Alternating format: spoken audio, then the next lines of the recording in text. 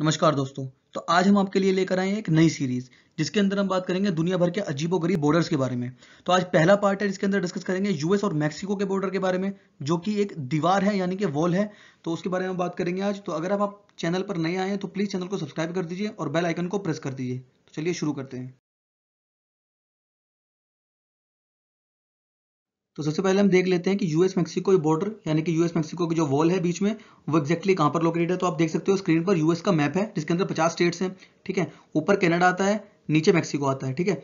अब आपको देखना पड़ेगा, देखो, ये कैलिफ़ोर्निया से होकर निकलती है ये वॉल और फिर एरिजोना फिर न्यू मैक्सिको और फिर टेक्सस ठीक है? टेक्सस से आगे फिर गल्फ ऑफ़ मैक्सिको ये आप देख सकते हो गल्फ ऑफ़ मैक्सिको और इधर पैसिफिक ओशन तो मतलब ये पूरा एरिया है जिसके थ्रू ये पूरा बॉर्डर गुजरता है। यानी कि यूएस के चार स्टेट्स इन्वॉल्व होते हैं इसके अंदर कैलिफ़ोर्निया एरिजोना न्यू मैक्सिको और टेक्सास न्यू मैक्सिको आप कंफ्यूज मत होना। न्यू मैक्सिको मैक्सिको का कोई स्टेट नहीं है, बल्कि यूएस का ही एक स्टेट है। ठीक है? अब आगे चलते हैं। तो अब आप स्क्रीन पर देख सकते हो लेफ़्ट साइड में यूएसए है और राइट साइड में मैक्सिको है। और बीच में जो आप वॉल देख रहे हो, ये यूएस और मेक्सिको के बीच में एक ऑफिशियल बॉर्डर है।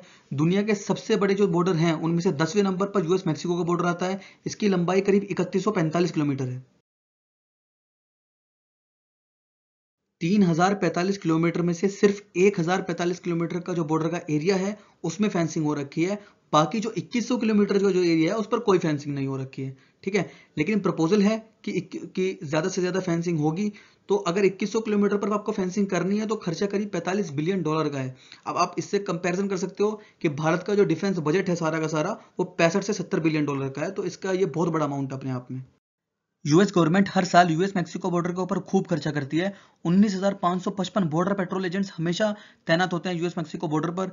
Nine unmanned aerial vehicles deploy करे गए हैं सर्वेलेंस के लिए और 2000 नेशनल सिक्योरिटी गार्ड और 5200 एक्टिव ड्यूटी ट्रूप जो हैं वो हमेशा डिप्लॉय होते हैं बॉर्डर के ऊपर। इलीगल इमिग्रेंट की बात करें तो US department of homeland security report जो 2015 के अंदर आई थी उसमें पता लगाया था कि मैक्सिको से 2015 के अंदर एक लाख सत्तर हज़ार लोग इलीगली एंटर करे। और अनऑथराइज इमिग्रेंट्स फ्रॉम मैक्सिको 2016 तक सारे मिलाकर छप्पन लाख थे। यानी कि छप्पन लाख लोग सिर्फ़ मैक्सिको से यूएस के अंदर आए इलीगली 2016 तक, और वो रह रहे हैं।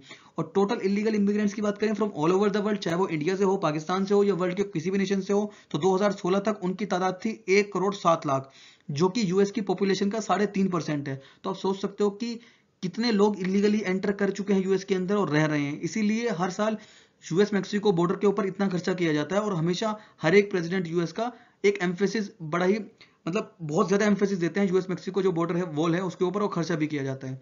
तो I hope everything is clear to you about US Mexico border if you like the video please subscribe the channel and hit the bell icon thank you